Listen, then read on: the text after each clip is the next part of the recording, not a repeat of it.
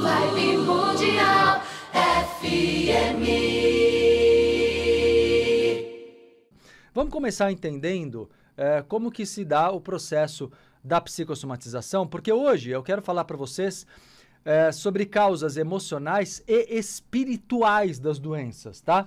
Me perguntam muito, como espiritualista que sou, sou espiritualista, universalista e terapeuta, e as pessoas me perguntam muito, mas Marcelo, e metafísico, não é? E me perguntam muito, Marcelo, é, é, como que funcionam, por exemplo, se todas as doenças têm causa emocional, como funcionam as doenças de que, que, que o bebê já nasce com ela, doenças congênitas? Como se explica uma doença congênita se nós entendemos que toda doença tem carga emocional, né? E o bebê acabou de nascer e às vezes já nasce doente. Então vamos começar o programa explicando o lado espiritual dessa questão. Vamos lá? Eu acho que é bem interessante. Depois eu vou continuar, como temos uma hora de programa, é, além de falar da parte espiritual, eu vou chegar na parte psicológica que na verdade está tudo mesclado, né? E aí eu vou falar hoje ainda sobre os sistemas do corpo, como sistema urinário, digestivo, respiratório, circulatório, muscular, endócrino, imunológico.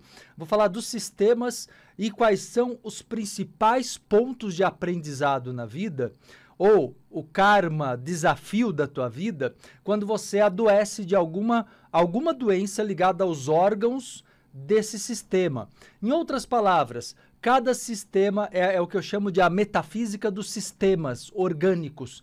Cada sistema nos diz respeito a um tipo de é, é, qualidade ou dom né, da nossa personalidade e se nós estamos conseguindo, tendo sabedoria para lidar com isso ou não se é como que tá o teu karma nesse aspecto, tá positivo ou tá negativo, né? Então é isso que eu quero mostrar para vocês.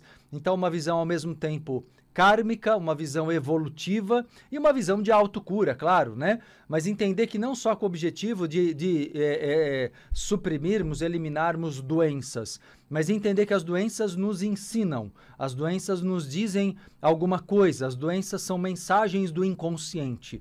É importante entender isso. Toda doença é uma mensagem do nosso inconsciente. Nenhuma doença acontece gra gratuitamente, não, nada, nenhuma doença é por acaso, nenhuma doença é azar, nenhuma doença é, nenhuma doença é castigo também, viu?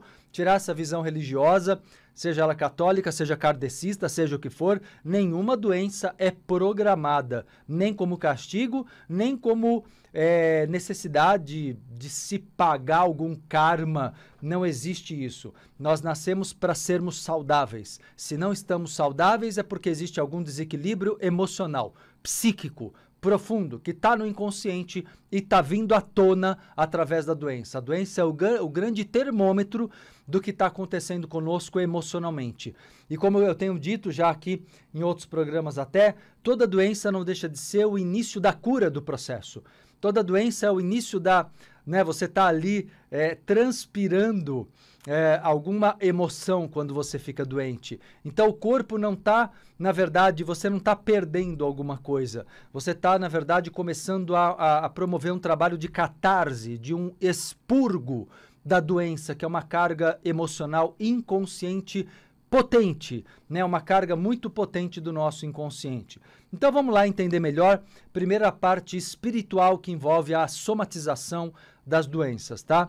E aí que eu falei daquela pergunta que me fazem muito sobre a, as crianças, né? Os bebês que nascem doentes. Por que isso acontece? Se nós somatizamos doenças por causas emocionais, sem exceção, sem exceção. Veja só, é, nós quando, é, para poder explicar o nascimento e possíveis doenças, eu vou explicar a morte para você entender uma questão importante. Quando nós morremos do corpo físico, o nosso corpo físico ele é, é descartado, mas uma parte do, da energia densa que é do corpo etérico, o corpo etérico, o corpo energético, ele é feito para cada encarnação. Então não, você só tem um corpo energético porque você está encarnado. O corpo energético não é necessário para os seres desencarnados. Nos seres desencarnados vivem muito bem, obrigado, com o corpo astral e o corpo mental. não precisam do corpo etérico. O corpo etérico é aquele mais denso, que ele é formado, eu já expliquei isso aqui em outros programas onde falei sobre reencarnação, mas para quem não sabe, vou dar uma palhinha rápida. Quando você vai reencarnar, alguns meses antes da concepção, do primeiro dia da gravidez da sua mãe, você começa a concentrar energia densa, ou seja, o corpo energético é formado antes do corpo físico, ok? O corpo energético ele é formado antes do corpo físico e ele vai preparando, na verdade, junto com o corpo astral, a formação, a modelagem, a modelagem do corpo físico e as células eh, vão se desenvolvendo de acordo com aquele modelo astral e etérico. Então, na verdade, o corpo etérico é o que vai permanecer você reencarnado. É o corpo denso que, que é intermediário entre o astral e o físico, compreende? Ou seja, o corpo energético feito de chakras, ele, ele é composto de uma energia ligada à natureza etérica, uh, os quatro elementos, a energia do ar, da água, da terra, do fogo. Ele é feito do prana, ele é feito dessa energia vital. E essa energia vital, portanto, ela compõe o corpo etérico, que liga, como eu disse, o corpo astral ao corpo físico, ok?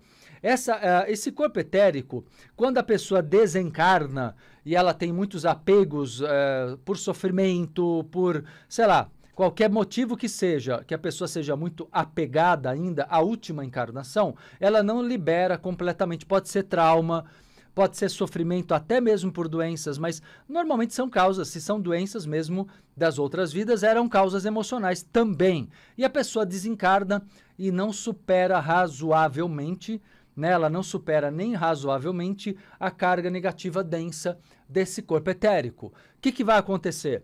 A pessoa passa um período no astral, ela vai tentar se libertar daquela energia densa da última encarnação que ela teve, mas nem tudo ela elimina. Então, quando ela vai reencarnar de novo, se ela não passar pela eliminação completa dessas energias, a eliminação completa chamamos de segunda morte. A primeira morte é a morte do corpo físico e a segunda morte é a morte do corpo etérico.